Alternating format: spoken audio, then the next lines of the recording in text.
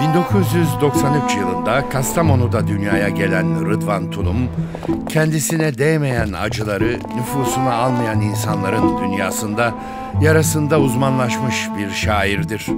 İstanbul Üniversitesi'nde iktisat okurken şiirleri İtibar dergisinde yayınlanmaya başlar. Çeşitli dergilerde editörlük, yayın yönetmenliği ve danışmanlığı yapan Tulum, yazı ve söyleşileriyle Cins dergide okuyucusuyla buluşur.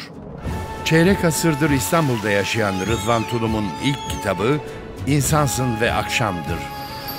Şiirlerindeki modern bireyin çatışma ve çelişkilerini kavrayışta umut vadeden sezgisi sebebiyle Necip Fazıl ilk eserler ödülüne layık görülmüştür.